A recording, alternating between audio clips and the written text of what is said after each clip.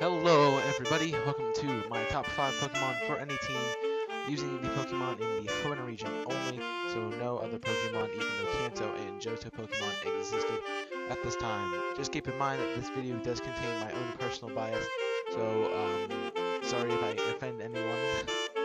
um, and this music is actually by Awesome Altas.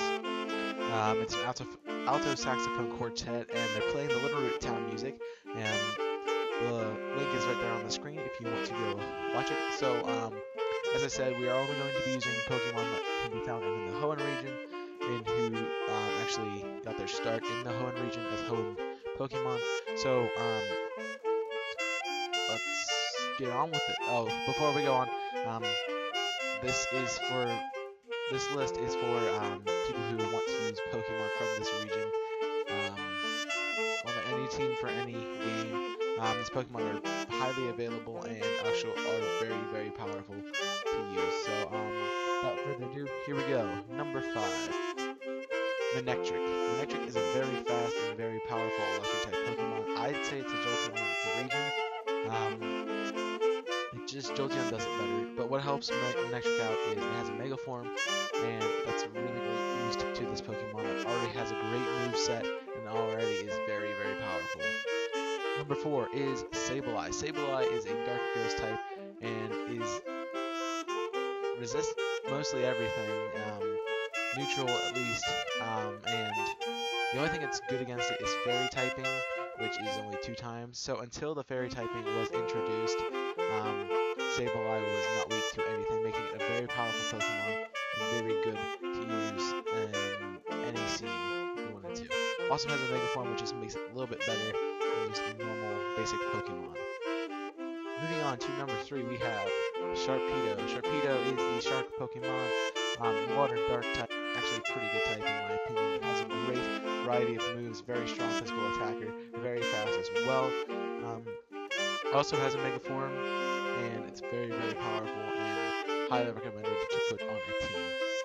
Next we have number two, Altaria. Altaria or Al or can't even say it. I say Altaria. Altaria, I guess is the other way. Um, I say Altaria, and this is a cute little fluffy cotton cloud bird Pokemon. I really like it. It's normal flying, but it does get the dragon type over normal once it gets to um, once it mega evolves very strong Pokemon, great moveset, can learn a lot of different moves thanks to the normal typing, and also is very powerful and strong. Now before we get to number one, we have a few honorable mentions. All four of these Pokemon have Mega Evolutions and are very good.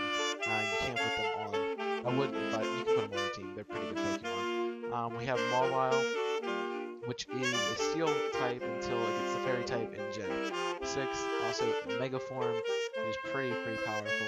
Um, it's just a little bit weak, and um, Pokemon on the list do a better job at it than it does.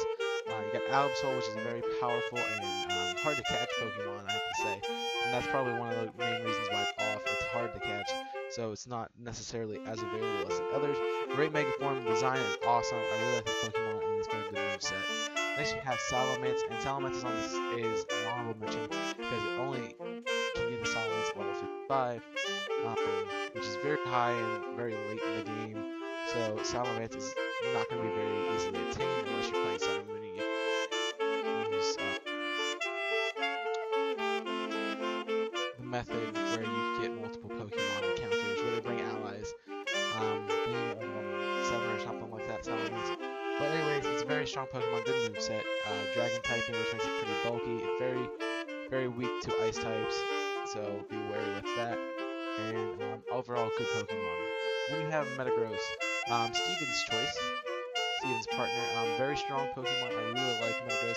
Steel and Psychic typing, a very good typing, uh, making it very difficult to fight. Um, very powerful, so a lot of good moves with it, a lot of stab behind it. Um, some great coverage as well. Uh, just doesn't match up with the rest of the team or the rest of the list, so that's why it's just out of the list. Now we move on to number one, which is Gardevoir. Gardevoir is one of my favorite Generation 3 Pokemon. Um, not that's not the reason why it's on this list. Uh, the reason why it's on this list is merely for the purpose of it being the best. Um, great, great psychic type Pokemon gets the fairy typing in Gen 6. Um, makes it even more makes it even more useful. Um, good Mega form. It also makes it look better, which is really hard since Gardevoir always already looks amazing. It's a great design for a Pokemon. Um, I wish it were female uh, locked, but you know, that would make it a whole lot easier to evolve it. So you wouldn't have to do the Dawnstone for, for Gallade. You could just have, if you had a male Ralts, it'd be um, you had a female, it'd be. That's what, I just think that's what it should be anyway. Um, very good Pokemon, high stats and everything. Great, great coverage moves, and also very, very um, powerful in its aspects of special attacking. Overall, a great Pokemon to team, add to a team. So, um, highly recommended. But thank you all for watching. I hope you enjoyed this video. If you did, please leave a like. Also comment your top 5 Pokemon in the comments below, or just some that you think I should have put on the list that I didn't. If you want one of your honorable mentions on the list instead of something else, you can say that there too. Um, actually, feel free to do whatever you want. Give me feedback. I'd love to hear from you. Also, make sure you like and subscribe to stay connected to this channel and the content I'm putting out. And as always, um, I'll catch you in the next one. So, it's Chaos May, 6 signing off. Bye now.